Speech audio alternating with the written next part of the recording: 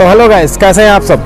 स्वागत है आप सभी का हमारे चैनल डायरेक्टर लोकजन में। आज हम आपको बताएँगे एक नया स्टंट जिससे आपको जब चाहे, जैसे चाहे वैसा सीख सकते हैं और कर भी सकते हैं। तो ज़ाहिर सी बात है, जब आप प्रैक्टिस करोगे तो आप भी कर सकते हो। मेरी तरह जैसे मैं धीरे धीरे करता चला जा रहा हूँ धीरे धीरे प्रैक्टिस मैं भी कर रहा हूँ। हालाँकि मेरे को भी इतना नहीं आता है बट मैं प्रॉपरली करने की कोशिश कर रहा हूँ, जिससे आपको करने में दिक्कत ना हो। और जो जो स्टंट मैं खुद सीखता हूँ, उसके बाद में ही आपको लोगों को ट्राई करने के लिए बोलता हूँ, जिससे क्या है आपको किसी प्रकार की कोई दिक्कत नहीं होगी।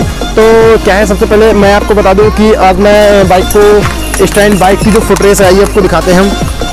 ये रही हमारी बाइक की लेफ़्ट फुटरेस और ये रही हमारी बाइक की राइट फुटरेस इसमें मैं आपको बाइक को फुल राइडिंग करके बताने वाला हूँ, ये रही बाइक की राइट फुटरेस इस पर क्या है, मैं बाइक पे खड़े होकर आज वीडियो बनाने वाला हूँ और काफ़ी, ये वीडियो काफ़ी इंटरेस्टिंग होने वाली है।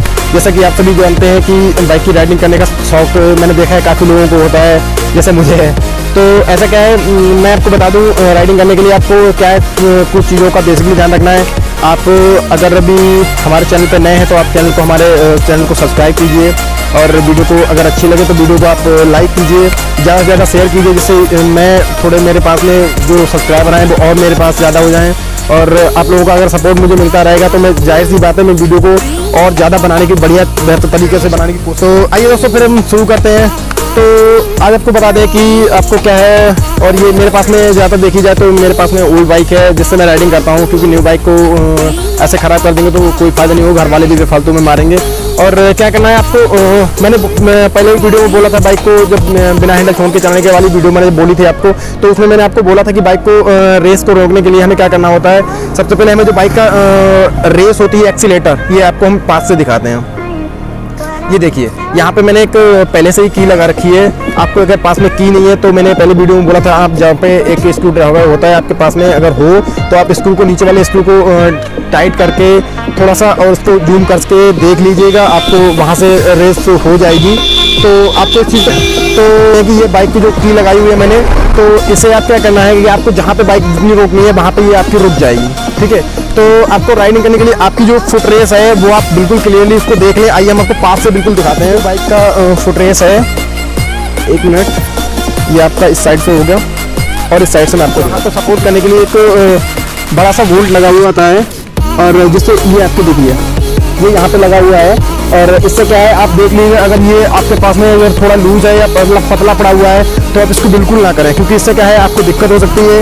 और आपको दिक्कत होगी तो आप चोटिल भी हो सकते हो। तो आइए दोस्तों फिर हम शुरू करते हैं। आपके एक ट्रिक बता दीजिए हमारी ये रही स्टासिटी एक सौ दस बाइक आपको क्या करना है बाइक पे बैठने के बाद में सबसे पहले बाइक के एक्सीटर को रोकना है।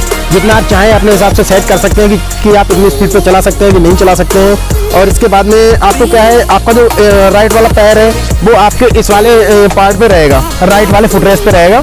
जिससे आपको किसी प्रकार की कोई दिक्कत नहीं होगी। और ये आपका जो लेफ़्ट वाला पैर है ये आपका पीछे वाले स्टैंड पे इसके ऊपर रहेगा।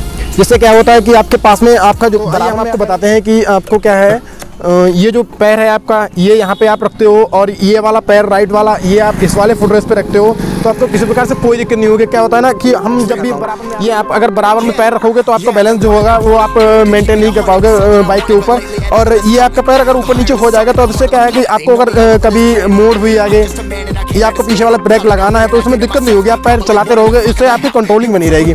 तो आइए फिर हम लेके चलते हैं आपको स्टंट के लेके चलते हैं कि आपको बाइक स्टंट कैसे करना है, और आपको हम करके बताते हैं एक एक पॉइंट को बारीकी से समझाते हैं, जिससे आपको किसी प्रकार की कोई इंजर्ट होने की चांसेस ना रहे। तो आइए दोस्तों, फिर शुरू करते हैं।